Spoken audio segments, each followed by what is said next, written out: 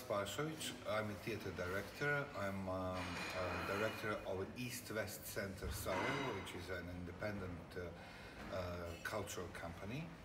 And uh, I'm a director of Mittelfest in Cividale del Friuli, Italy.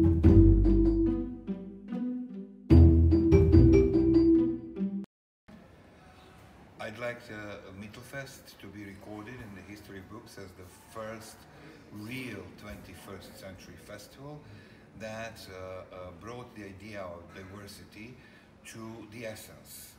It means diversity not only uh, the different countries, different nationalities, different uh, uh, cultures, different races, obviously gender equality, uh, obviously uh, differences in sexual orientations and choices, but also diversity in um, uh, expressions, in, in different uh, ways to communicate uh, the art, uh, whether is it a more classical form or, or modern inventive form or more popular form, our criteria is to be the best.